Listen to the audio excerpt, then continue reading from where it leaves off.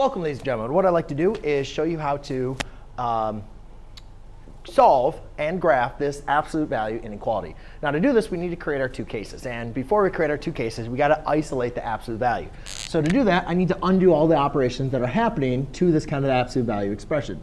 So first thing I'm going to do is I'm going to undo addition and subtraction. So I have 4 absolute value of 2w plus 3 is less than or equal to 9 minus, or 9 plus 7 is going to be 16. Then I'll divide by 4 on both sides, and I have an absolute value of 2w plus 3 is less than or equal to 4.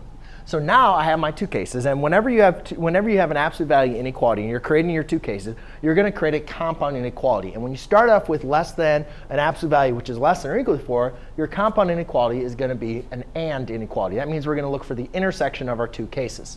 So I set up my two cases here, which is 2w plus 3 is less than or equal to 4, and 2w plus 3 is less than or, oh, I'm sorry, is greater than or equal to negative 4, right? Remember, we're setting up our two cases. we got to do the positive and the negative.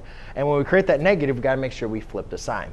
So now I solve each, and each one of these separately. So I have 2w is less than or equal to 1 divided by 2 divided by 2. w equals 1 half.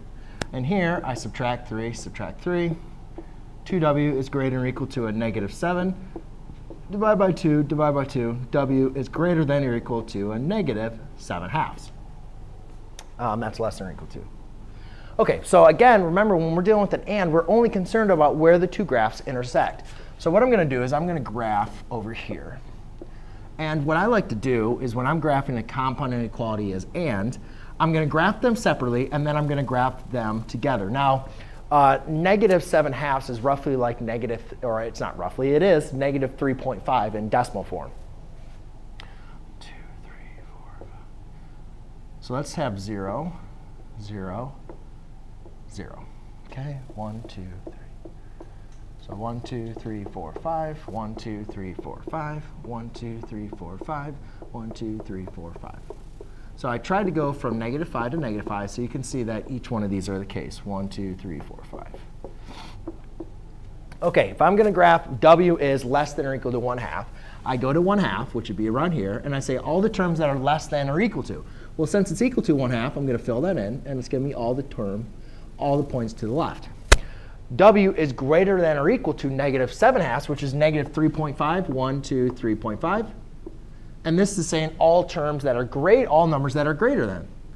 So that's going to be all numbers going this way. So therefore, you can see that these two inter only intersect between those two, between these values, right?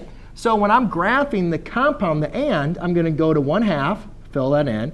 I'm going to go to negative 3 halves, 1, 2, 3, half, fill that in, and I'm only going to shade in between them because that is the only portion of the graph where they're both true. So there you go, ladies and gentlemen. That is how you solve and graph your compound inequality. Now, what I congratulate